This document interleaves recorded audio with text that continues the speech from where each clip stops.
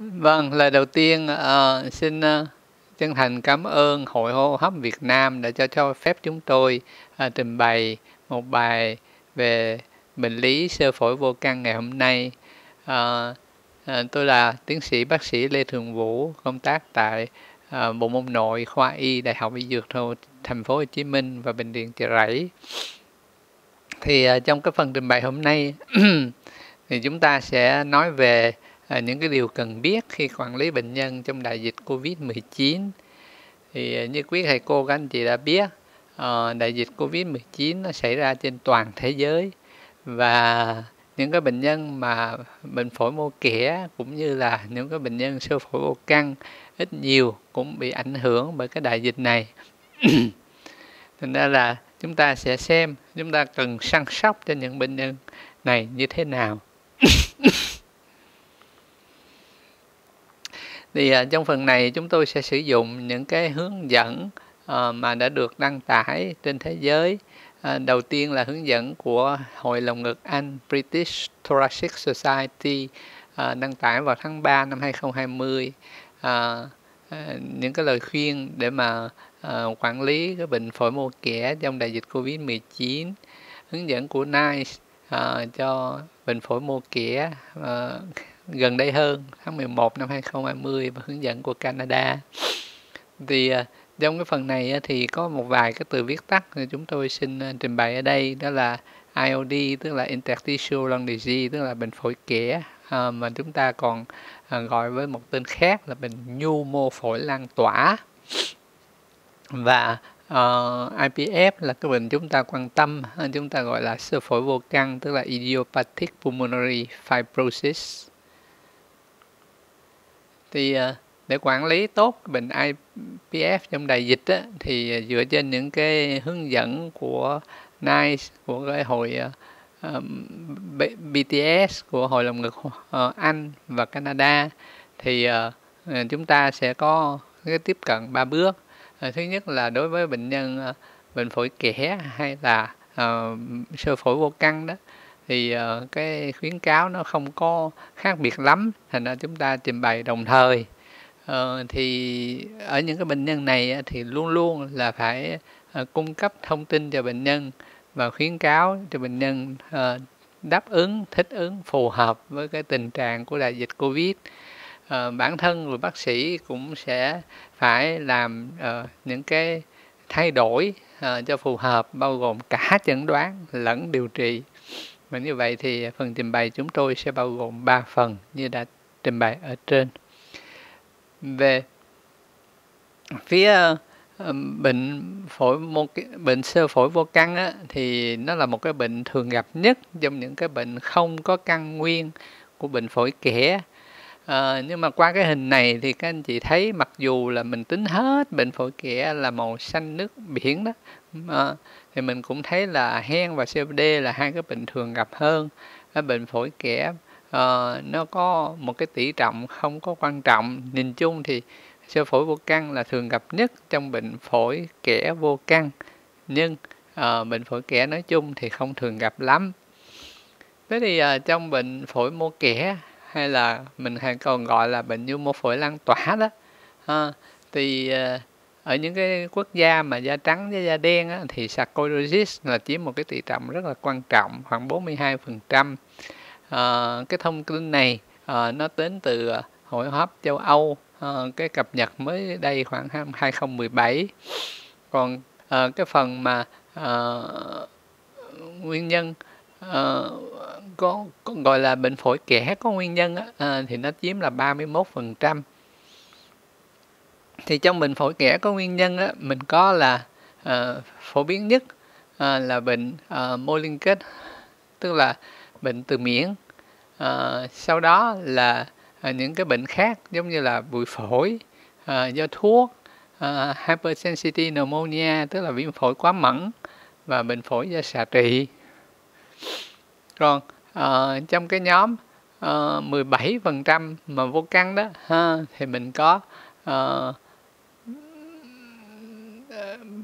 cái à, uh, IPF tức là sơ sơ phổi vô căn là thường gặp nhất chiếm 70% còn những cái thể loại khác thì ít gặp hơn. Thì uh, đối với đối với đại dịch covid á, thì uh, khi mà đại dịch covid lan ra toàn cầu thì những cái bệnh nhân bệnh phổi kẽ cũng không tránh khỏi cái nguy cơ mắc covid. Thế thì câu hỏi đặt ra là uh, khi mà bệnh nhân bị uh, mắc covid á, thì cái tiên lượng nó sẽ xấu hơn hay là tốt hơn? Thì trong một cái nghiên cứu mà người ta à, tuyển lựa khoảng 300 bệnh nhân bệnh phổi kẽ đã mắc covid thì à, người ta à, đưa ra những cái tiêu chuẩn lựa chọn bao gồm là à, cái chẩn đoán rõ có làm PCR à, vân vân.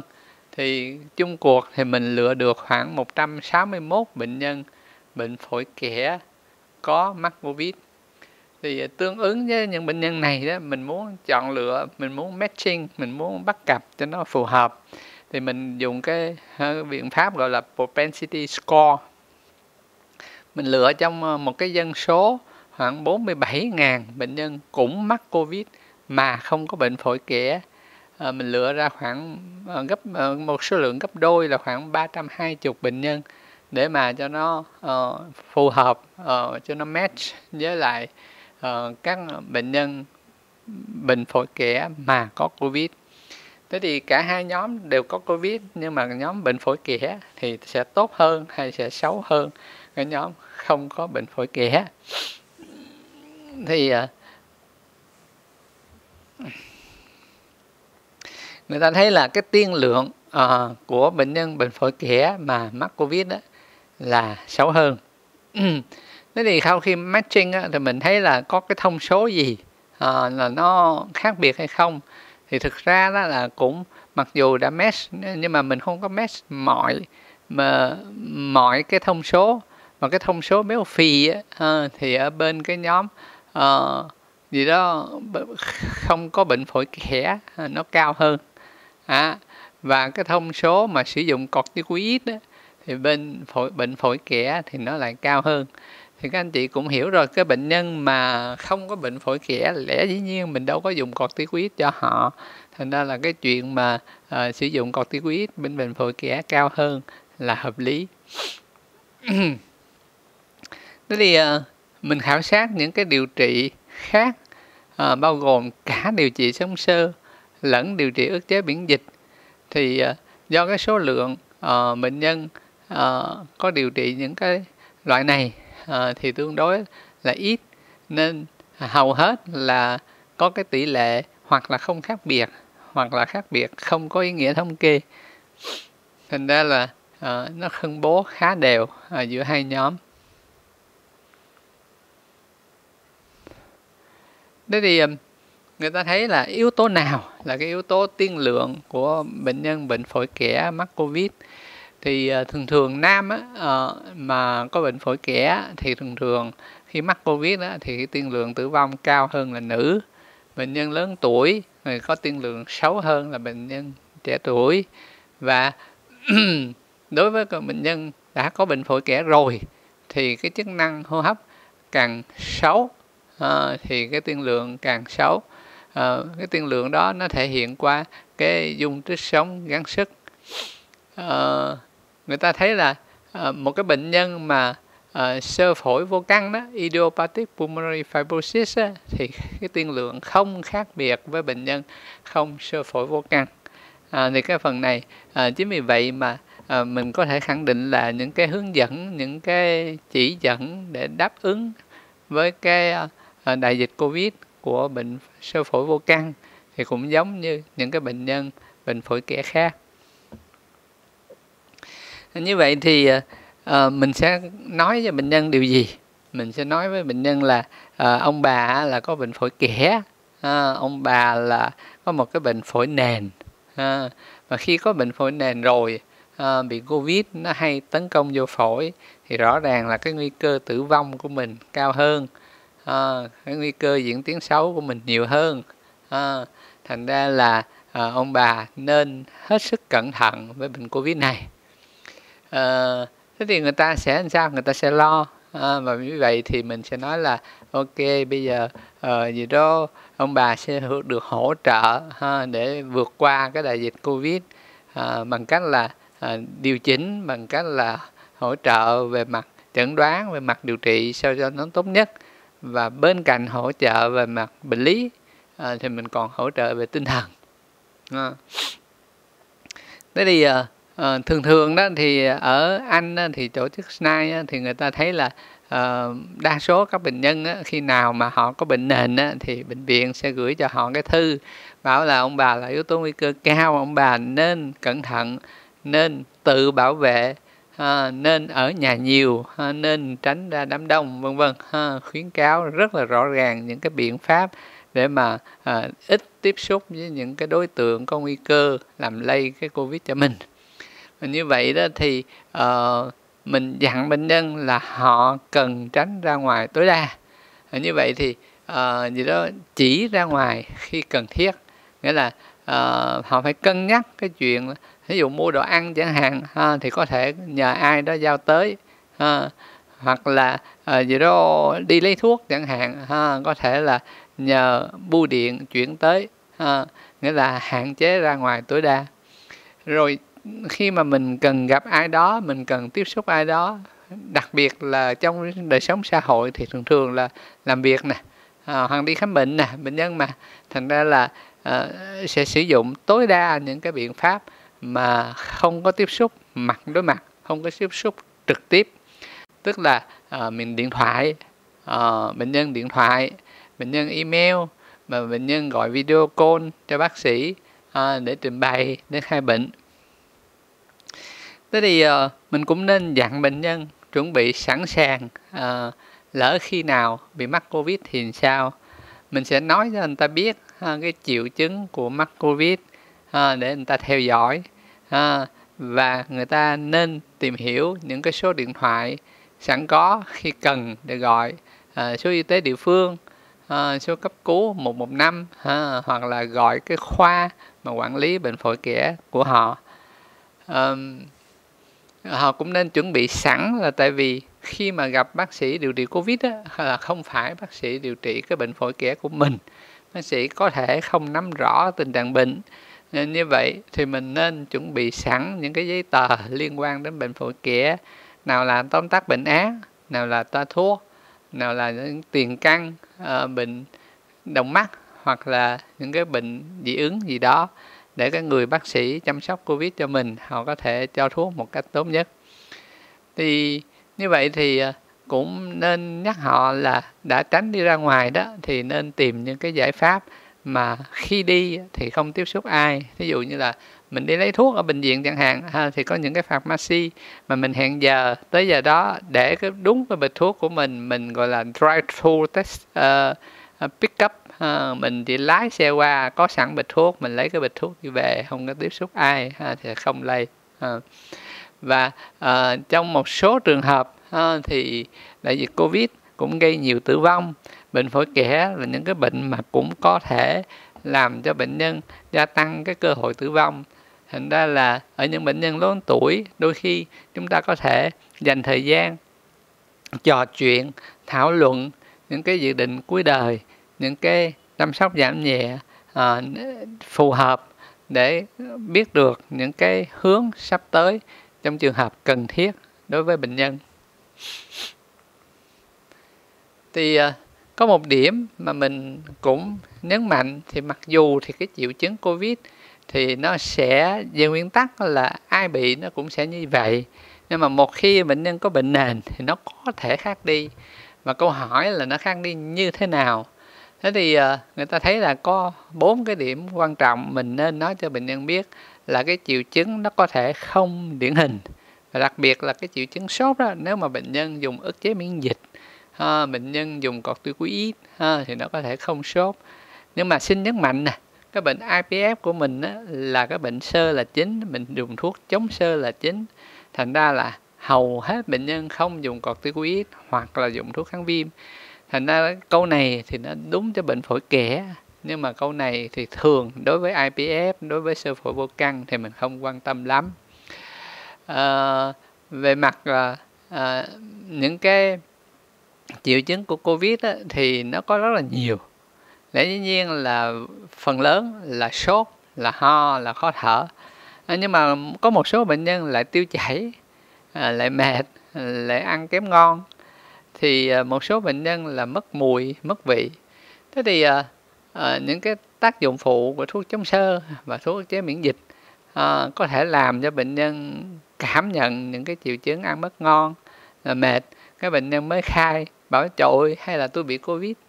À, thành ra là mình phải giải thích à, là nếu mà ông bà mới uống cái thuốc này mà không có kèm bất kỳ những cái biểu hiện khác như là sổ mũi là ho là đau họng gì khác thì có thể à, do mới uống thuốc thì nó là tác dụng phụ của thuốc mình theo dõi thêm thời gian. Và dễ nhất à, là mình có thể làm test nhanh mình làm PCR à, mà âm tính thì mình có thể kết luận một cách chính xác là không phải covid đâu có thể tí tác dụng phụ của thuốc đó. À, à, bên cạnh đó thì bản thân cái triệu chứng của bệnh phổi kẽ giống như là khó thở gắng sức à, là có thể hiện diện rồi. Bây giờ ví dụ họ uống thuốc của mình họ cải thiện bây giờ tự nhiên nó khó thở gắng sức lại thì coi chừng cái khó thở gắng sức tái phát à, là cái triệu chứng của covid nữa. Thành ra là uh, thiệt tình mà nói thì uh, rất là khó phân biệt những cái triệu chứng là liệu có liên quan đến covid hay là liên quan đến bệnh phổi kẽ. Nhưng mà uh, cái thời gian đầu tiên khi mà chúng ta chưa có uh, cái xét nghiệm phổ biến đó thì nó có thể khó. Uh, nhưng mà hiện tại thì đa số mọi nơi uh, chúng ta có thể tiếp cận được hoặc là bằng bài PCR ở các bệnh viện ở các vùng khám hoặc là cái test nhanh có thể bán rất là phổ biến ở các nhà thuốc thì khi nào mà mình nghi ngờ đó mình khuyên bệnh nhân thử test nhanh ha, thì nó âm ha, thì thường thường là tương đối là an toàn. Và thứ hai là à, mình cũng kiểm lại những cái triệu chứng lâm sàng thường thường đó là nhiều triệu chứng nó là đầy đủ điển hình chứ không phải là một nếu mà một thì thường thường là không phải là covid. À, à, cũng lưu ý là à, trong trường hợp mà bệnh phổi kẽ nó đã là một cái bệnh mà có nguy cơ tăng huyết khối à, thì khi đó thì um, covid nó cũng vậy. Thành ra là à, bệnh nhân nên uống nhiều nước nên di chuyển à, tập luyện thường xuyên ha, để tránh cái nguy cơ tăng huyết khối và à, điều trị thuốc chống huyết khối phòng ngừa theo chỉ định của bác sĩ nếu mà có. Đi à, về phía là à, mình giáo dục á, thì mình cũng không quên ha, là những cái biện pháp là giãn cách vệ sinh tay à, à, cũng là phải lưu ý cho bệnh nhân.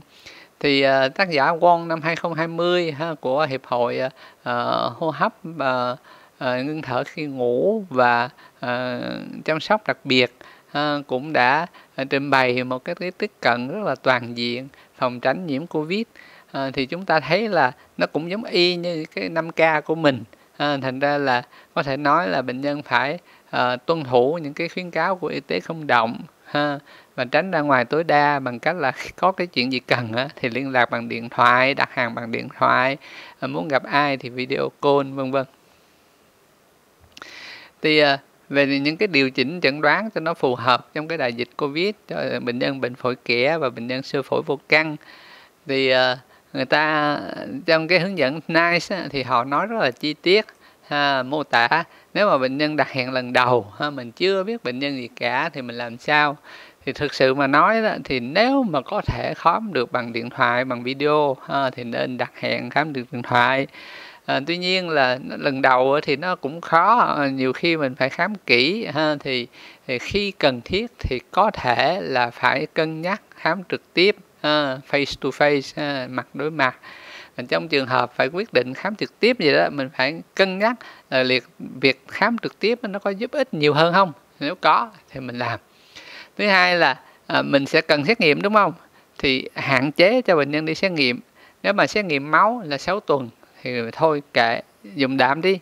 Nếu mà xét nghiệm chức năng hấp 6 tháng thôi kệ dùng tạm đi. Và CT scan 12 tháng có thể dùng tạm được. Nếu gì? Nếu bệnh nhân không có thay đổi gì quá mức gần đây và thứ hai là bệnh nhân không có bệnh gì cấp tính. À, thì trong trường hợp đó mình dùng xét nghiệm cũ. Còn nếu mà à, gì đó có thay đổi à, bệnh nhân đang trở nặng à, thì rõ ràng là phải đánh giá lại toàn bộ. À. về phía à, những cái xét nghiệm á, thì cũng lưu ý là à, nội soi phế quản nè à, chức năng hô hấp nè là những cái xét nghiệm tạo khí dung làm tăng nguy cơ lây nhiễm cho bệnh nhân hoặc là cho người khác khi mà bệnh nhân À, bị covid. À, chính vì vậy những cái xét nghiệm này chỉ đối đế à, mới cần làm. Nên là thực sự là bệnh nhân khi mà mình cần làm cái này mà gì đó uh, mình có thể thay đổi được điều trị nó có thể mang lại một cái tác động trực tiếp tốt lên sức khỏe bệnh nhân thì mình mới làm. Ờ, còn không thì không nên làm. Và nếu mà mình quyết định mình làm thì phải tuân thủ những cái hướng dẫn làm sao cho nó an toàn. Nghĩa là làm sao? Bệnh nhân phải được làm test PCR à, bệnh nhân phải được ờ, uh, gì đó loại trừ kỹ uh, trong cái vùng làm nội soi thì chỉ có những người có trách nhiệm thôi. À, và mặc à, gì đó bảo hộ cá nhân đầy đủ à, để tránh à, lây nhiễm covid. À, và dĩ nhiên à, thí dụ nếu mà chỉ là xét nghiệm máu ha, thì những có những cái phòng à, xét nghiệm tư nhân có những cái phòng xét nghiệm cộng đồng ha, có thể gửi ra. Thì thay vì gửi vô bệnh viện ha, thì nó đông nguy cơ nhiễm covid nhiều hơn. À, mình có thể rất là nhiều lựa chọn làm sao tránh nhiễm covid cho bệnh nhân càng nhiều càng tốt. Thì uh, cái phần uh, cái, cái bài trình bày của tác giả Wong á, thì ông tổng kết lại ha, là những cái điều mà thường thường là mình tiếp cận với bệnh nhân covid như thế nào. À, thì xin lỗi tiếp cận với bệnh nhân bệnh phổi kẽ như thế nào. Và bên này á, mình điều chỉnh ra làm sao. Thì thường thường á, là mình hay hỏi bệnh sử à, làm xét nghiệm huyết thanh học à, và chụp CT thì à, trong đại dịch covid mình là vẫn làm y vậy à, chỉ có bỏ chức năng hô hấp thì trong trường hợp mà chẩn đoán được rồi thì mừng quá à, trong trường hợp chẩn đoán khó à, thì à, gì đó vẫn có thể học à, ờ, gì đó hội đồng liên chuyên khoa à, để mà à, xem, là có chẩn đoán xác định được chưa à, và trong trường hợp khó thì làm nội soi uh, làm sinh thiết uh, nhưng mà rất hạn chế trong cái thời đại dịch covid thì mình ráng không cần thiết thì mình bỏ qua uh, mình không làm dịch rửa phế quản uh, mình không làm sinh thiết uh, và thường thường á, mình phải chấp nhận một cái tỷ lệ là có thể là mình làm những chẩn đoán không chắc chắn như cái lúc bình thường à, không chắc chắn như lúc bình thường. Về mặt điều trị á, thì ờ, à, chúng ta biết là sơ phổi vô căn ha, cơ chế bệnh sinh là sơ là chính ha. thành ra là các anh chị thấy cái chữ màu đỏ đó against against ha, là không không không ha, không dùng. À, như vậy thì mình nhớ là nhiều cái loại thuốc là không có tốt ha, cho IPF cho sơ phổi vô căn mà mình dùng à, những cái thuốc là chống sơ thôi. Thì như vậy thì cái thuốc chống sơ đó thì không ảnh hưởng gì ha, tới cái đại dịch covid à, nó không làm tăng nguy cơ mắc covid nó không làm nặng hơn à, tình trạng covid nếu mà bệnh nhân mắc. À, ngược lại thì những cái thuốc mà again again again đó, à, nhiều thuốc là ức chế miễn dịch. Nó lại có thể làm nặng hơn bệnh nhân với covid. Thành ra mình hết sức lưu ý. À, thì à, đối với bệnh kẻ thông thường mà có sử dụng uh, gì đó thuốc chế miễn dịch thì mình phải hết sức lưu tâm còn nếu mà đối với IPF chỉ xài thuốc chống sơ thì mình an tâm hơn nhiều. Thế thì à, khi mà mình tiếp cận với bệnh nhân à, bệnh phổi kẽ mà không mắc covid đó, thì à, mình lưu ý à, những cái việc gọi là à, phòng chống nhiễm khuẩn ha à, mình à, khi mà đặt hẹn đã hỏi anh có bị covid không anh có triệu chứng covid không sáng ngày bệnh nhân tới khám có thể hỏi thêm lần nữa rồi đo nhiệt độ rồi tổ chức làm sao cho ở cái phòng khám mình ha, bệnh nhân tới rồi về ngay ha, hạn chế thời gian ở phòng chờ ha, rồi về mặt uh, điều trị thì uh, nếu mà bệnh nhân ổn thì nên cho toa dài hơn ha. Ờ, ở Việt Nam mình cũng hay làm ha. mình cho toa 2 tháng 3 tháng ha, nếu được ha. ít xét nghiệm hơn vân vân và vân vân thì thực ra đó mình có một cái điểm lưu ý với những cái thuốc chống sơ là có một tỷ lệ nhỏ các tác dụng phụ thí dụ tăng men gan mà thường thường trong 3 tháng đầu mình thường hay có uh, dự định là sẽ thử cái men gan hàng tháng một lần ha, và sau đó cứ mỗi hai ba tháng. Thì mình lưu ý là đôi khi là mình phải cho bệnh nhân à, làm xét nghiệm máu và như vậy mình phải à, thảo luận với bệnh nhân cái lợi cái hại à, tìm cái phương cách là à, bệnh nhân xét nghiệm ở đâu đó mà tránh vô bệnh viện tránh cái nguy cơ tiếp xúc tránh cái nguy cơ bị lây nhiễm. À, à, thì lúc nào cũng vậy người ta nhấn mạnh là cái thuốc ức chế miễn dịch phải hết sức cẩn thận và nếu được thì bỏ những cái ức chế miễn dịch mà có cái cái cái khả năng là phải lấy máu nhiều có ức chế miễn dịch nặng uh, nhiều cái nguy cơ gọi là cái cái cái tác dụng phụ nó nhiều hơn cái tác dụng lợi. À, chính vì vậy đôi khi mình có thể chuyển ra những cái loại nhẹ nhàng hơn ờ, ít tác dụng phụ hơn như là prednisone chẳng hạn để mà uh, gì đó ít ảnh hưởng đến IP uh, ờ, gì đó cái cái cái tình trạng uh, covid. Uh, đối với những cái bệnh nhân uh, uh, IOD mà mà không mắc covid á, thì lâu lâu á, mình phải đánh giá lại cái cái cái nhu cầu oxy. Nếu mà bệnh nhân chưa từng thở oxy á, thì mình sẽ à, thường thì mình sẽ tới ờ, à, mình cho bệnh nhân tới nơi mình kẹp oximeter mình cho bệnh nhân đi bộ 6 phút mình kẹp oximeter. Đó là bình thường nhưng mà trong cái đại dịch covid thì rất là không nên làm vậy. Chính vì vậy à, người ta khuyên là nếu mà có thể có được à, tới nhà bệnh nhân ha, thì à, ít người hơn và như vậy nó sẽ an toàn hơn ha, phát cho bệnh nhân cái oximeter và như vậy mình có thể đánh giá à, lần đầu hoặc là đánh giá lại xem liệu bệnh nhân có cần oxy hay không. Những cái phục hồi chức năng phổi đó thì thường thường đó là hồi giờ hay đối mặt face to face ha. Ờ, nhưng mà trong đại dịch covid thì mình có thể cho bệnh nhân tập từ xa hoặc là à, tập những cái gói trực tuyến trên mạng. Và à, cũng đừng quên là có thể gửi bệnh nhân đi ghép phổi như thông thường. À, trong trường hợp mà bệnh nhân nghi ha, thì cũng giống y như Việt Nam thôi. Ha, là à, chúng ta nghi thì à, chúng ta phải test nhanh ha, chúng ta phải cách ly. Và khi mà à, lỡ mà có nhân viên tiếp xúc ha, thì chúng ta Ờ, cũng làm uh, gì đó những cái cái động tác là xét nghiệm cho nhân viên và và cách ly nhân viên nếu cần. Uh, theo theo quy định. Uh, câu hỏi là có cần điều chỉnh cái điều trị à, uh, IOD hoặc IPF không? Thì như nãy đã nói đó thì à, những cái điều chỉnh mà điều trị mà ức chế miễn dịch mang tính là uh, ảnh hưởng tới nhiều tới cái cái cái covid đó uh, thì mình có thể cân nhắc ngưng. Nếu cái việc ngưng đó không làm cho cái bệnh uh, gì đó bệnh IOD nó nặng hơn tới cái mức mà có thể gây siêu hấp tới cái mức có thể gây tử vong. Nếu mà mình thấy là mình kiểm soát ổn thì mình có thể ngưng. Còn nếu không thì mình dùng liều thấp nhất hiệu quả. Đó, và cũng có thể ha, là duy trì bằng prednisone đặc biệt là cái liều thấp nhất hiệu quả. À, và mình cũng lưu ý là khi mà bệnh nhân vào cái ờ, cái đợt cấp Ờ, vào cái cái cái nhiễm covid á, thì bệnh nhân mà sử dụng corticoid dài ngày á, có thể bị suy sườn mần mạng. Và khi đó thì ờ, gì đó với một cái stress vậy á, có thể là nó cần một cái liều corticoid cao hơn. Và như vậy mà mình có thể phải báo với bác sĩ covid để mà chỉnh cái liều cho phù hợp cho tăng liều lên cho phù hợp với cái nhu cầu corticoid của bệnh nhân. À, thỉnh thoảng thì ờ, những cái tác dụng phụ trên gan, trên thận à, của thuốc có thể xảy ra hoặc là do do dịch Covid, do bệnh Covid nó có thể làm cho à, gan thận ảnh hưởng thì mình nhớ chỉnh liều, mình nhớ điều chỉnh những cái thuốc men một cách phù hợp. À, như vậy thì à, tổng kết lại ha thì cái tác những cái tác giả Canada ha, thì nhấn mạnh thì nhất là luôn luôn ngăn ngừa lây nhiễm ha, bỏ bớt những cái xét nghiệm uh, phúng, tạo khí dung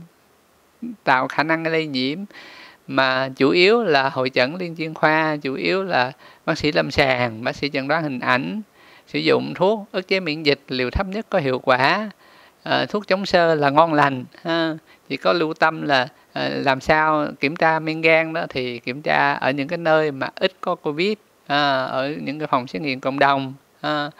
và à, gì đó à, nếu mà bệnh nhân covid có có bệnh phổi kẽ ha, thì chúng ta có thể gửi đến những cái trung tâm chuyên khoa để mà thăm thăm khám để mà theo dõi.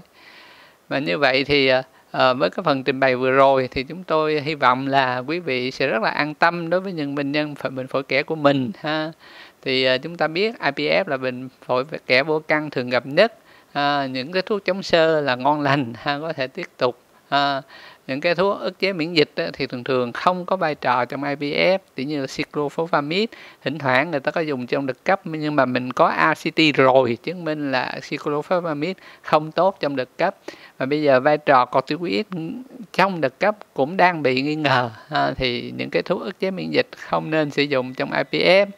và cuối cùng là những cái hướng dẫn để mà thích ứng với IPF á, thì và bệnh phổi kẽ đó thì đã được uh, cập nhật bởi các hiệp hội và mình có thể tuân thủ. Và nguyên tắc chung là uh, làm sao tránh lây nhiễm cho bệnh nhân càng tốt uh, uh, thế thì uh, kết luận lại ha là uh, những cái bệnh nhân bệnh phổi kẽ có thể tử vong cao khi mắc covid và việc chẩn đoán điều trị có thể khó hơn trong mùa dịch nhưng mà nếu mà mình chuyển đổi điện thoại video email thì nó có thể vẫn tiếp cận được bệnh nhân và làm giảm thiểu cái nguy cơ lây nhiễm. À, mình có thể thảo luận những cái điều trị giảm nhẹ cuối đời cho bệnh nhân IPF và à, nintedanib là một cái điều trị an toàn đặc biệt trong cái đại dịch covid. Xin chân thành cảm ơn thầy cô và các anh chị đã chú ý lắng nghe.